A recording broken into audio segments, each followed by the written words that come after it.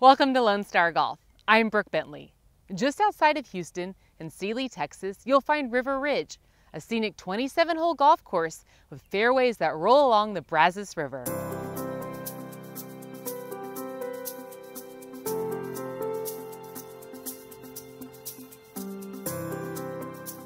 What was once a horse ranch is now one of the best public golf courses in the state of Texas.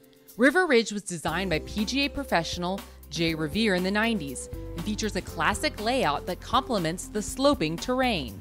A lot of rolling fairways, a lot of undulation on the greens, uh, a lot of bunkers that look like they're brutal, but you get up and realize they're really not even in play. A lot of, you know, just deception to the eye all this natural undulation, all the roll was here already. And there was just horses running around in fields out here. And so when Jay was designing the course, his main concern was to not change up. He wanted to use the undulation as much as he could. So we moved very little earth to actually build the course. He just pushed up a little bit more to form the greens, dug out for the bunkers. The undulation is all here and you get a lot of elevation changes out here that you don't really get in the Houston area. What you also get at River Ridge is three nines the river, the parkland, and the ridge, each course featuring a unique design. The ridge is the more open, uh, open of the three, more not a links type design, but a little more room to hit your driver, a lot more open space, just the views, a lot more vista. Um, the Parkland is the nine that's in the middle. That one's the most difficult nine, tree line, very tight, and that nine rewards shot making more than any other nine. You have to be able to work the ball both directions, hit it straight, do everything on the Parkland.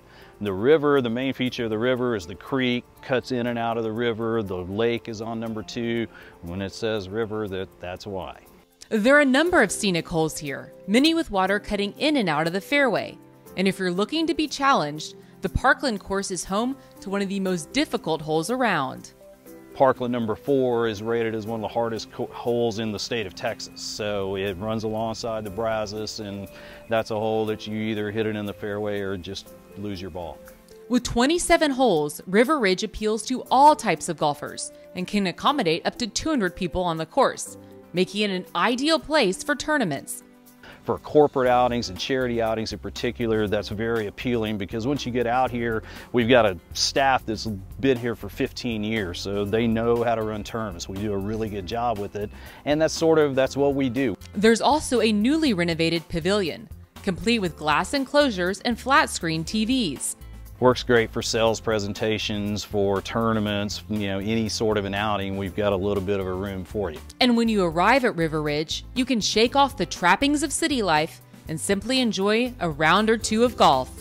So once you get to here and you tee off, it's golf and that's it. There's no, you don't ever have to worry about hitting in someone's backyard or cars honking in your backswing, anything like that. It's a very golf-centric place. Once you tee off, the only thing you really have to worry about is your game. There's nothing else going on. One of the most important decisions you can make when you get to golf course is picking your tee box. Trey explains the importance of playing it forward when you come to the golf course, I really only have two concerns for you. Do you want to have fun? And do you want to spend all day doing this? Because if you want to have fun, playing from the tips when you're a 20 handicapper is not going to be fun, especially out here. You're not going to be able to get it over the river. You're not going to be able to keep it in the fairway. But if you move a couple of sets of tees up and play from where you should play, now you can hit some irons into greens. Now you can score. Now you can have fun. The second part is just pure time. Nobody has time to spend six hours playing around a golf.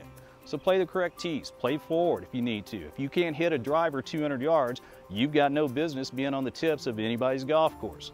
Play from the appropriate set of tees, you'll have more fun, you'll play faster, everybody around you will appreciate it. Thanks for joining us on Lone Star Golf. See you next week.